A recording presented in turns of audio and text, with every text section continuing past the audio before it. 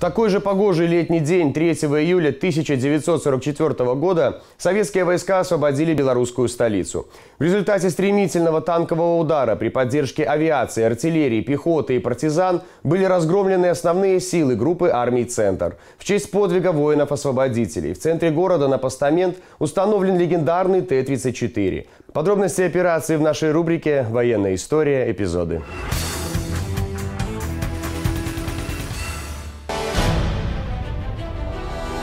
Масштабное наступление Красной Армии на центральном участке Советско-Германского фронта 23 июня 1944 года застало гитлеровцев врасплох. Советские войска прорвали немецкую оборону на всем 400-километровом участке фронта, освободили Витебск, Оршу, Могилев, Бобруйск. Командующий группой армии «Центр» фельдмаршал Вальтер Модель прибыл в Борисов. Его замысел заключался в том, чтобы здесь, на Березине, остановить войска Красной Армии до переброски основных резервов вермахта. В первой линии заняла оборону дивизия генерала Карла Деккера, имевшая в своем составе 150 новейших танков «Тигр».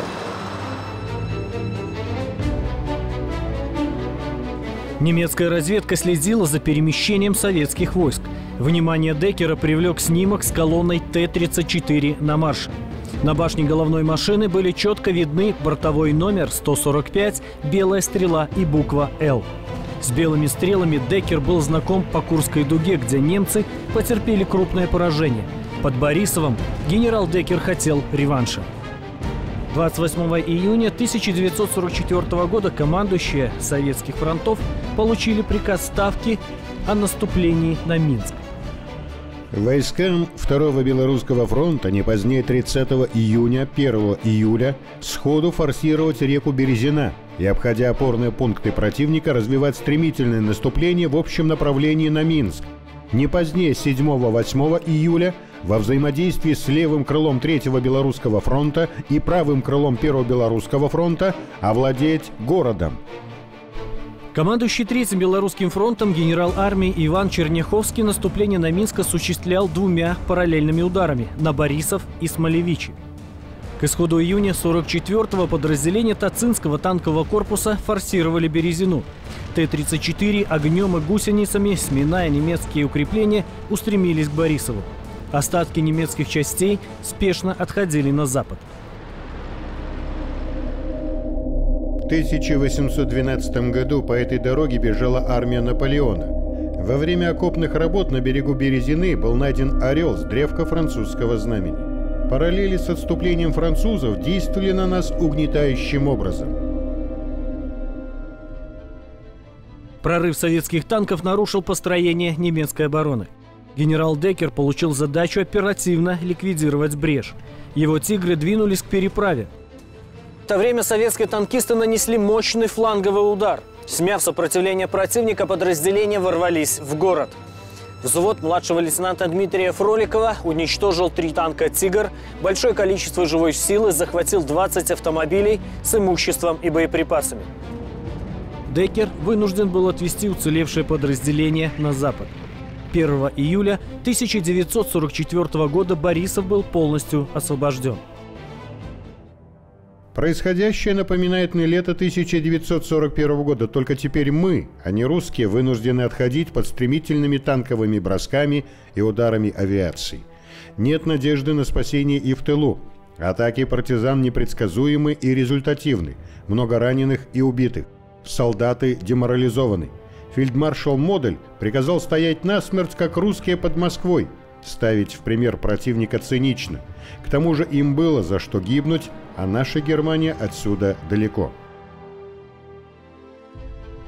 Потерпев поражение на Березине, немцы спешно стянули войска к Минску с задачей выровнять линию фронта и не допустить окружения дивизий 4-й полевой армии.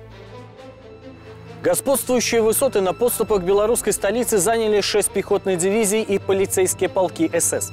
Позиции были хорошо подготовлены в инженерном отношении, имели большое количество капониров для проведения маневренной танковой обороны. Но столько генералу Деккеру было уже не нужно.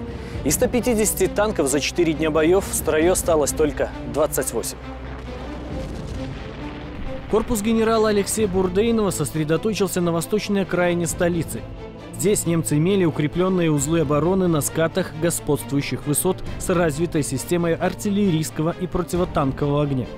С флангов пехотные части прикрывали «Пантеры». Бригада полковника Лосика атаковала сходу.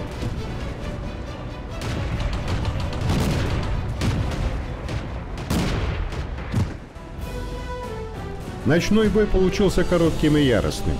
Гвардейцы метким огнем сожгли пять танков и еще несколько подбили, подавили две артиллерийские батареи, уничтожили около 40 автотягачей и до батальона живой силы врага. Путь на Минск был открыт. Генерал Бурдейны отдал кодированный приказ 555. Это означало «штурм». Удар гвардейцев был настолько неожиданным, что гитлеровцы не смогли оказать сопротивление. Первым в Минск ворвался танк Т-34 с бортовым номером 145 под командованием младшего лейтенанта Дмитрия Фроликова. За танкистами вошли основные силы Красной Армии. К 17 часам 3 июля 1944 года Минск был освобожден.